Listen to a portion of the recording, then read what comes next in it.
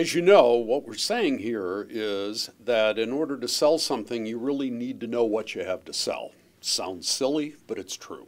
And in the sport tourism industry, you have to know what your capabilities are before you represent your destination to event owners.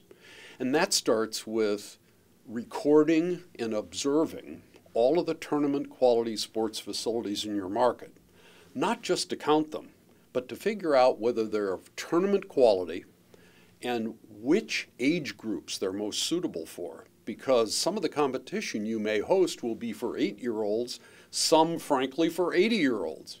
So each facility has to be judged both in terms of its tournament quality and also the sports that it's suited for and the age groups that are best suited for that sports facility. So that's the first part of any facility audit.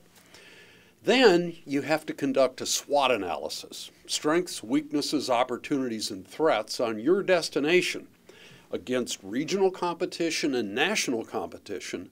And when you do that, you have to be fair about it you have to really carefully think through whether your softball fields are the equals of the softball fields 150 miles away at another destination.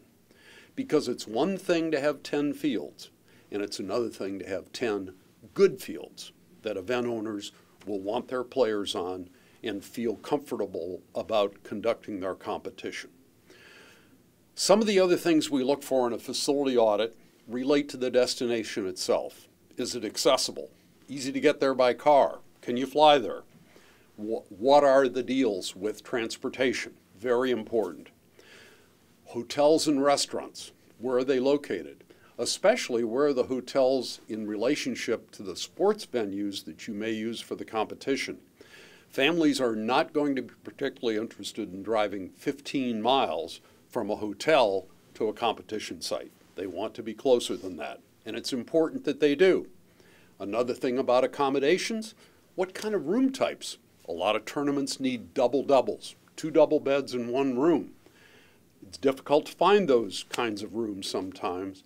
You have to find out what you have in your destination and be sure that you've got an accurate inventory of that before you go any further. And then finally, because a lot of these tournaments are mini vacations for some families, what else is there to see and do in the destination while they're there for the sports tournament? Are there theme parks, water parks? Are there historical sites? What else can you do while you're there? Very important to the traveling families and also to the rights holder. And as we finish the sports facility audits that I've been involved with personally, we also try to judge not only what you can do with the facilities you have the way they are right now, but what might happen with modifications or improvements to those facilities.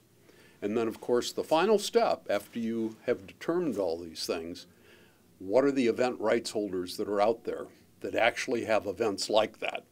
And we'll be talking more about that later in the course.